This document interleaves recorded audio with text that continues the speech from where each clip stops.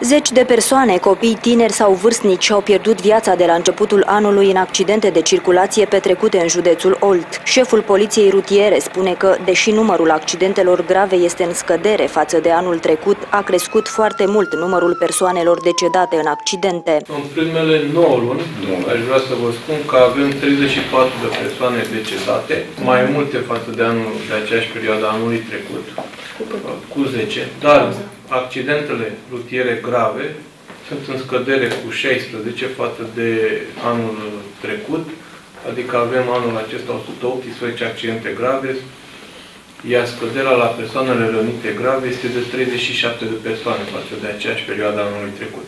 Din păcate, gradul de victimizare, chiar dacă nu a, a cunoscut crește, gravitatea se pare că este mai mare față de anul trecut.